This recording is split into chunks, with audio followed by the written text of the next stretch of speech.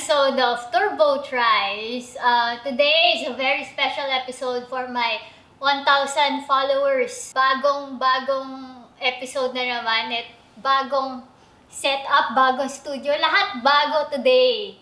And to give you guys a whole new experience, something new, something fresh, and even better content, today, Turbo tries building a gaming PC. Today, we'll start with a processor. We have the i7.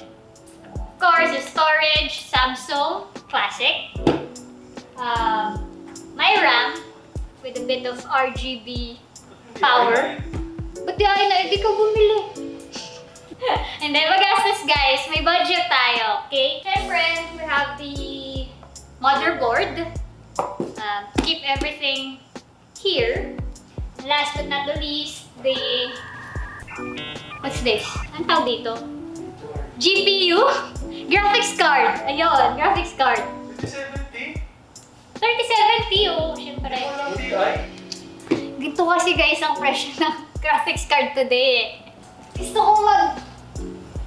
Ano dito? Case na small form factor. Pero dahil maliit din ako, Parang mga 8X. Nagmukha ATX.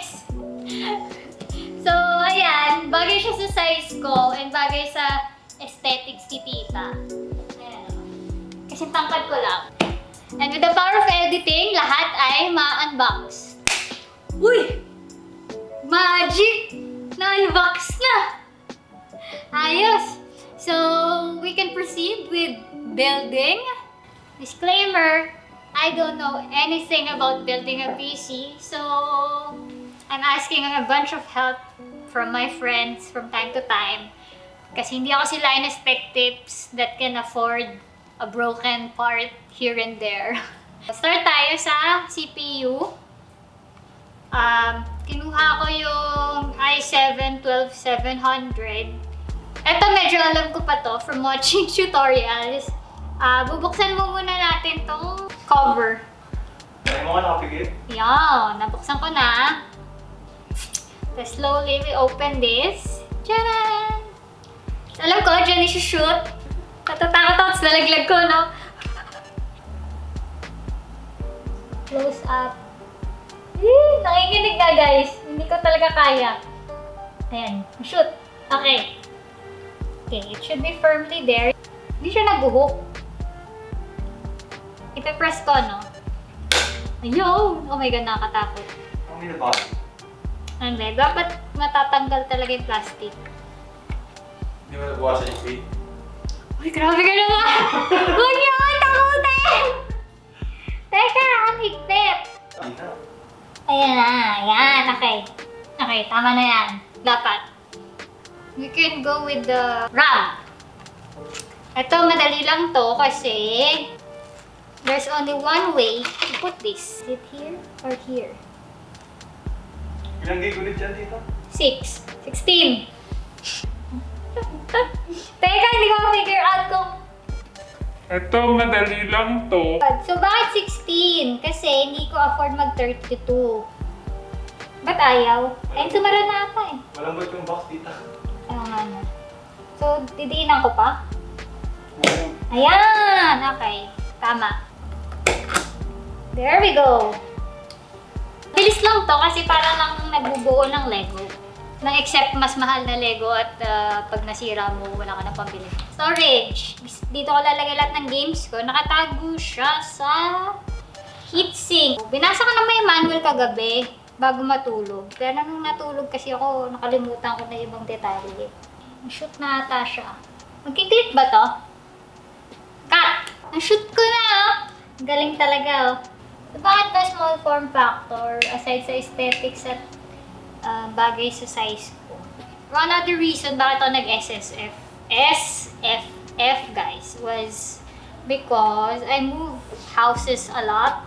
So I have to be able to bring my workstation with me. So we're finally almost there. Just a few more pieces.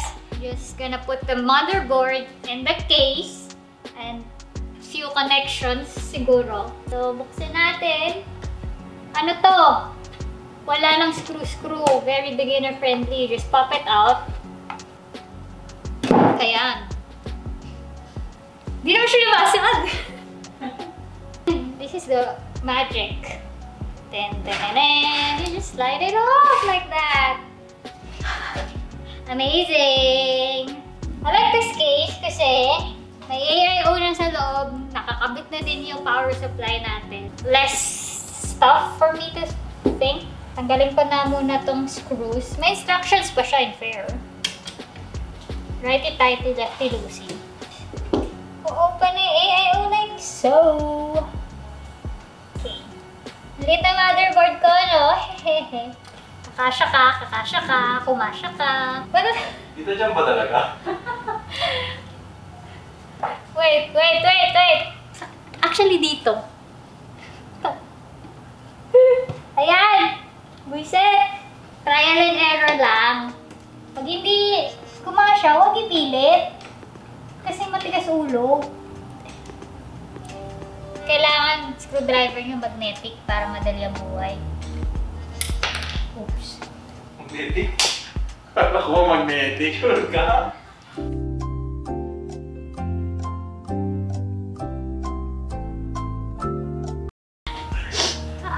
Yung key ako nagagawa.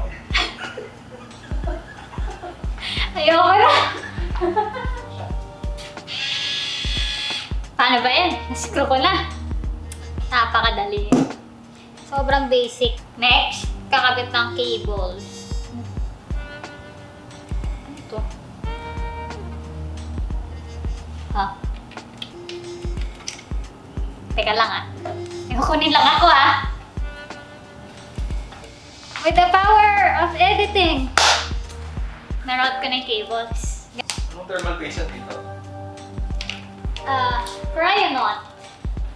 Bili ko lang siya Shopee or Lazada. So, lagay lang na yung tiny amount. Makakatulong sa thermal performance yung, ano, thermal paste, sabi nila. Okay na yan. Kahit hindi maganda. Basta importante, nandyan siya. Ito, lalagay lang siya here. I think. Ah, tama. Tama orientation. Okay. Um, may kasama na siyang screws from the box. Yeah. Okay lang yan. Hmm, o diba? And with that, GPU na yung last. Saan nilalagay yung GPU? Dito. Last but not the least, um, hindi ko hinarap sa inyo, so hindi ko na malalagay. Ayoko na. Gusto ko na mag-move on sa laptop gaming. All this time, lahat ng content na ginagawa ko, lahat ng gaming, pinipilit ko talaga sa laptop ko. For a short while, for 3 years, gumana naman siya. And I was content.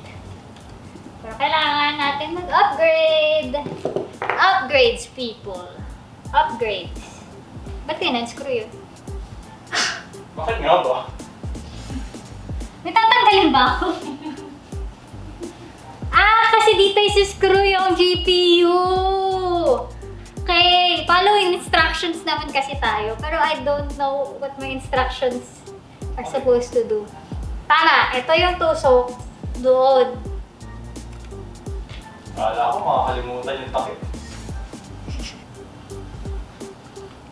Ano ba, kailangan mo lang ng common sense.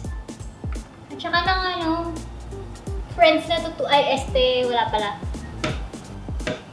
Pag di na-shoot, eh di na-shoot. Oh my god, natatakot na ako. Ito na naman. Ayun na, ayun na, naglalak na. Yan, naglock na! Good shit! Balik ko na yung screw na tinanggal ko. Kasi yun pala yung purpose nun. Ay, basta kayo manual. Hindi diretso yung GP. Hindi ba? Uy! Huwag naman ganyan. 1, 2, 3, 4. Ah, ah, nakuha ko. Bakit may sobrang dalawa? Teka lang ah. Nakabit ko na cables ng GPU. Diretso na din siya. Eh, one last thing to do. Kundi testing natin kung gagana siya. Pakahirap ako, di pala gumagana. So, saksak ko lang. Okay. Mag-boot ka, please. Ready, ready? Ready? Oh, shit, hindi pala nag-on, no? Joke lang, hindi pa naka-on yung power. Kinabahan ako doon, slide. Naon pa na to. Ayan, ayan. Game na, game na, game na, game na. Mag-on ka, please. Oh my God, umilaw! Umilaw! Let's go, let's go, let's go, let's go. It's alive! Are you alive and well? Sasara na siya. As easy as pie. Okay. Diba? And we're good. And with that, we're done with our PC build. I'm very happy how it turned out. It's so satisfying to see the lights, the fans turning on.